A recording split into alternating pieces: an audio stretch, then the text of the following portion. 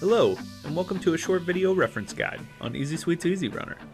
In this video, I'll be going over the use of the EZ-Runner mobile application. EZ-Runner is available on the Google Play Store to be used on any Android device.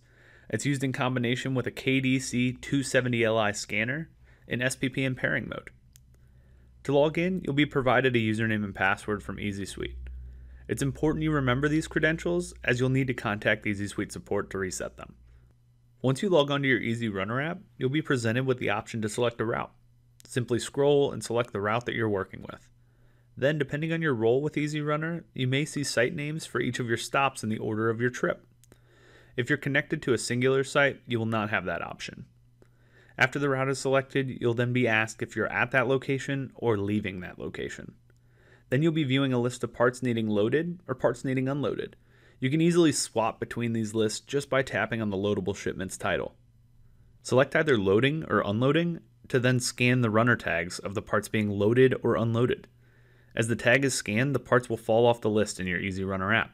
Continue scanning all of the unloading parts until the list is empty, and then if necessary, swap to start scanning parts that need loaded back onto the truck. Once you're finished at that site, you'll hit the Depart button on the bottom of your screen. This will then show you a quick overview of your manifest, and the Depart button will change to show as Arrive for your next location. If for some reason you can't scan the tag on a part, you can select it from your list and manually edit that tag. Here you can mark the shipment loaded manually. You can also mark that the part was damaged, or if needed, you can mark that the part is missing or overloaded. Overloading is for the parts that cannot fit on your truck and will need to be sent with the next available load. You then can add a note or photo to be submitted with this part's tracking information. In the top right corner of EZ-Runner, you can select the menu for some additional options. You can search for a specific shipment, or switch to overload scanning, which then allows you to quickly scan any remaining freight and move it to the overload status.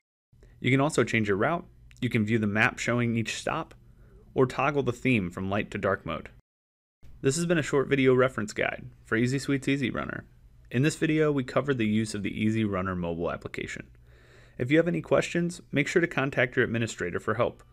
You also have access to our library of information guides or to reach out to us directly on easy.delivery in the chat bubble to the bottom right. Thank you.